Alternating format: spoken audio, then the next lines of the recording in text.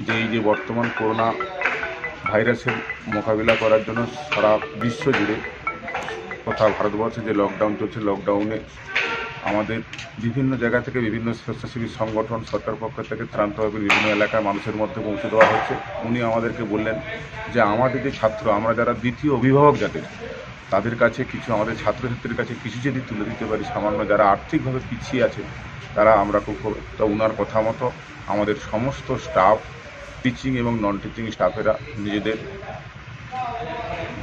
বেতন থেকে সামান্য সামান্য বেশ কিছু পয়সা দিয়ে আমরা প্রায় দুশো এগারো জন মতো ছাত্রছাত্রীর পাশে আমরা দাঁড়াতে পেরেছি সামান্য আর্থিক সাহায্য করে। তাতে চাল, ডাল, আলু, পেঁয়াজ এগুলো কিছু দিয়ে আমরা সামগ্রিক দিয়ে তাদের হাতে দেওয়ার চেষ্টা করেছি। এটা যদি আমরা আরও একটু বেশি পারতাম, তাহলে আরও খুব ভালো হতো। তোমাদের মাধ্যমে আমরা যাদেরকে দিতে পারলাম না বা যেসব ছাত্রছাত্রী আর্থিক পিছিয়ে থাকা ছাত্রদের কাছে পৌঁছাতে পারলাম না, তাদের কাছে আমরা সত্যি দুঃখিত।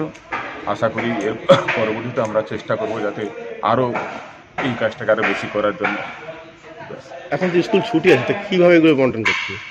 না, স্কুল ছুটি আমরা বাড়ি বাড়ি পৌঁছে দিচ্ছি সমস্ত সমস্ত যাদেরকে লিস্ট আমরা করেছি, আমাদের আমাদের এ দেখে মানে আমাদের রোল স্টেন দেখে আমরা দেখলাম যে কিছু কিছু ছেলে আর্থিক পিছিয়ে যারা আছে, তাদের নাম ধরে ধরে আমরা বিভিন্ন এলাকাতে ভ্যানের মাধ্যমে দিয়ে আমাদের মাস্টারমশাই দিয়ে তাদের বাড়ি বাড়ি পৌঁছে দিচ্ছি।